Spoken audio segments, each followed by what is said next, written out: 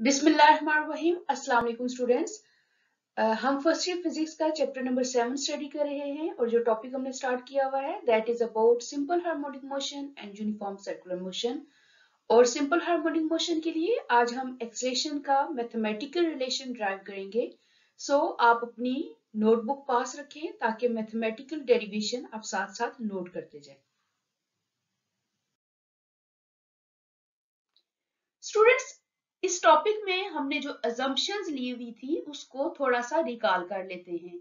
Simple harmonic motion और uniform circular motion को हमने आपस में रिलेट किया था और इसे रिलेट करने के लिए हमने कंसीडर किया था एक मैस स्प्रिंग सिस्टम यानी स्प्रिंग की एक साइड पे हमने मैस एम अटैच किया और स्प्रिंग की दूसरी साइड को हमने एक फिक्स्ड स्पोर्ट के साथ अटैच किया। अब यहाँ दूसरी तरफ़ हम एक सर्कल लेते हैं और इस सर्कल में किसी पार्टिकल को कंसीडर कर लेते हैं। लेट्स कंसीडर ये पार्टिकल इस पॉइंट पी पे है। ये पार्टिकल मूव करता है, यानी स्टार्ट में ये पार्टिकल इस पॉइंट पे था, ये पार्टिकल मूव करता हुआ पॉइंट पी पे पहुँचा। अब अगर इस पार्टिकल का प्रोजेक्शन देखें, इस लाइन पे, जिसे हम डायामीटर ऑफ़ द सर्कल कहते हैं तो ये इस पार्टिकल का प्रोजेक्शन इस पॉइंट पे पड़ रहा है और इस पॉइंट को हम एन पॉइंट कहते हैं। अब स्टूडेंट्स देखें जैसे जैसे ये पार्टिकल सर्कुलर पाथ में मूव करेगा वैसे वैसे उसका प्रोजेक्शन यानी साया भी हमें मूव होता हुआ नज़र आएगा। फॉर एग्ज़ाम्पल यहाँ ये पार्टिकल तब इसका प्रोजेक्शन इस पॉइंट पे। जब ये पार्टिकल यहाँ से मूव करके यहाँ पहुँचा तो इसका प्रोजेक्शन भी इसी पॉइंट पे आ गया। जब ये पार्टिकल मूव करके यहाँ पहुँचा, तब इसका प्रोजेक्शन नीचे आ गया पॉइंट एन पे। जब ये पार्टिकल मूव करता हुआ यहाँ पहुंचेगा, तब इसका प्रोजेक्शन ओ पॉइंट पे आ जाएगा।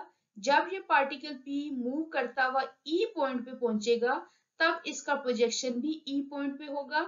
जब ये पार्टिकल मूव करता हुआ यहाँ इस पॉइंट पे पहुंचेगा, तब इसका प्रोजेक्शन यहाँ से मूव करके ओ पॉइंट पे आ जाएगा। यानी स्टूडेंट्स यहाँ से अगर आप इस प्रोजेक्शन की मूवमेंट को देखें तो इस प्रोजेक्शन की मूवमेंट रिपीटेड मोशन परफॉर्म कर रही है। यानी इस डायामीटर लाइन डी ई पे मुसलसल रिपीटेड मोशन को परफॉर्म करती है। रिपीटेड मोशन परफॉर्म करती हुई हमें नज़र आती है। अब यहाँ से अगर आप देखें मैस स्प्रिंग सिस्टम को तो ये मैस स्प्रिंग सिस्टम भी अपनी मीन पोजीशन के आगे पीछे ओसिलेट करता है और इस प्रोजेक्शन की अगर मोशन को देखें तो ये प्रोजेक्शन भी मीन पॉइंट ओ के आगे पीछे अपनी मोशन को रिपीट कर रहा होता है। यानी यहाँ से हमें फील होता है कि ये जो प्रोजेक्शन है, ये सेम मोशन परफॉर्म कर रहा है, जैसा कि ये मैस स्प्रिंग सिस्टम परफॉर्म कर रहा है। स्टूडेंट्स इन दोनों के कंपैरिजन को यूज़ करते हुए प्रीवियस आर्टिकल्स में हमने सिंपल हार्मोनिक मोशन के लिए इंस्टेंटेनियस डिस्प्लेसमेंट इंस्टेंटेनियस वेलोसिटी के लिए मैथमेटिकल रिलेशंस ड्राइव किए थे। आज हम इसी नॉलेज को यूज़ करते हुए, इसी कंपैरिजन को यूज़ करते हुए इंस्टेंटेनियस एक्सप्रेशन का मैथमेटिकल रिलेशन ड्राइव करेंगे। किसका instantaneous expression simple harmonic motion के लिए इंस्टेंटेनियस एक्सप्रेशन का मैथमेटिकल रिलेशन ड्राइव करेंगे। किस इंफॉर्मेशन को यूज़ करते हुए? इस प्रोजेक्शन की मोशन को यूज़ करते हुए, इसके बिहेवियर को देखते हुए, और हम ये प्रूव करेंगे कि ये जो प्रोजेक्शन है, ये सिंपल हार्मोनिक मोशन परफॉर्म कर रहा है। इसका एक्सरेशन जो है उसका मैथमेटिकल रिलेशन बिल्कुल वैसे ही है जैसा कि इस मैथ स्प्रिंग सिस्टम का है, यानी जैसा कि सिंपल हार्मोनिक मोशन के लिए एक्सलेशन का मैथमेटिकल रिलेशन होता है। सो नेक्स्ट मूव करते हैं। स्टूडेंट्स इंस्टेंटेनियस एक्सेशन का मैथमेटिकल रिलेशन ड्राइव करने के लिए हम हेल्प लेंगे इस डायग्राम की। और यहाँ देखें कि ये पार्टिकल पी सर्कुलर पाथ में मूव कर रहा है। और आप जानते हैं कि जब कोई पार्टिकल जब कोई ऑब्जेक्ट सर्कुलर पाथ में मूव करे तो उस पार्टिकल पे कौन सी फोर्स लगती है? स्टूडेंट्स सर्कुलर पाथ में मूव करने वाली बॉडी पे सर्कुलर पाथ में मूव करने वाले ऑब्जेक्ट पे हमेशा जो फोर्स लगती है, उसे हम सेंट्रीपिटल फोर्स कहते हैं। और इस फोर्स की वजह से जो एक्सरेशन प्रोड्यूस होता है, उस एक्सरेशन को हम सेंट्रीपिटल एक्सरेशन कहते हैं। So centimetre acceleration centimetre force ये दोनों टॉपिक्स आप चैप्टर नंबर फाइव में इन डिटेल स्टडी कर चुके हैं। यहाँ हम सेंटीमीटर एक्सेशन का मैथमेटिकल रिलेशन यूज़ करेंगे।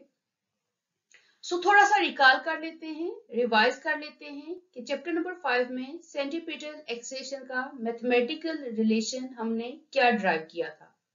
स्टूडेंट्स आप जानते हैं कि A C is equal to V square by R और यहाँ ये जो v वेलोसिटी है लीनियर वेलोसिटी इसका एंगुलर वेलोसिटी के साथ जो रिलेशन है, वो क्या है? वो है v is equal to R omega यानी इस v की जगह आप लिख दें आर ओमेगा v का स्केयर है तो इसका whole square divided by r. अब स्केयर को अप्लाई करें, r square omega square divided by r. जहाँ एक r इस r स्केयर के साथ कैंसिल हुआ so A C is equal to R omega square ये है mathematical relation for centripetal acceleration so particle P का जो एक्सेशन है, वो सेंटीपिटल एक्सेशन है. So we can write A P is equal to R omega square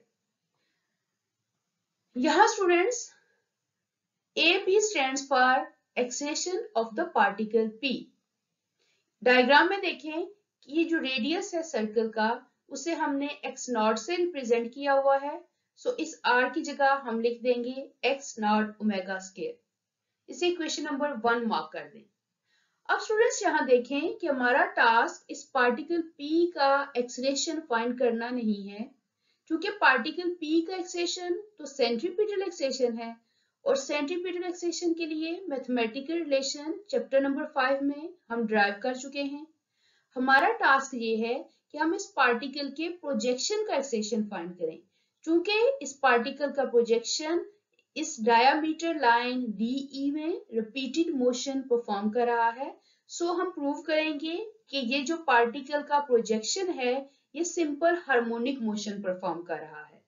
so so students हम इस projection के एक्सप्रेशन को ए से रिप्रेजेंट कर लेते हैं और हम इसको अब फाइंड करते हैं। इसे फाइंड करने के लिए हम हेल्प लेंगे ट्राइंगल पी ओ एन की।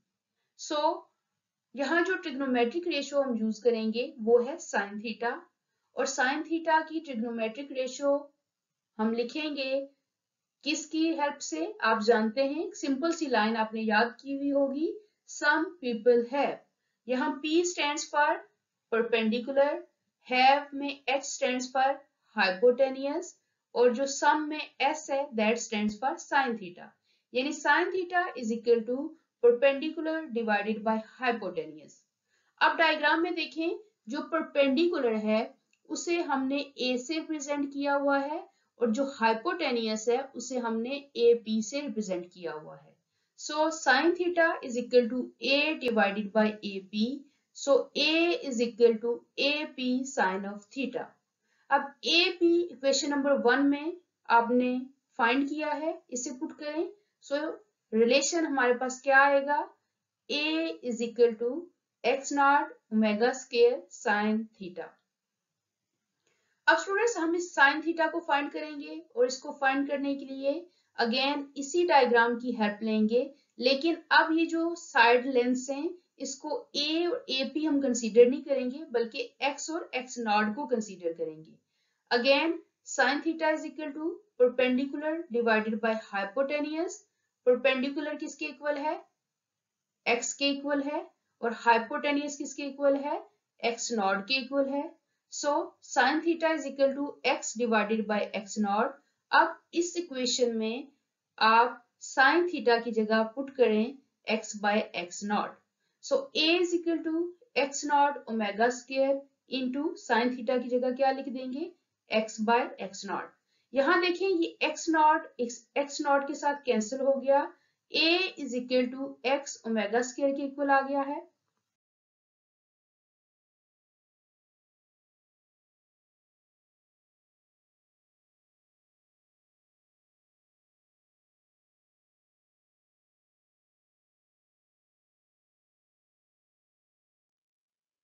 स्टूडेंट्स यहाँ अगर इस प्रोजेक्शन एम की डिस्प्लेसमेंट और इसके एक्सेशन को देखें तो इन दोनों की डायरेक्शंस अपोजिट हैं।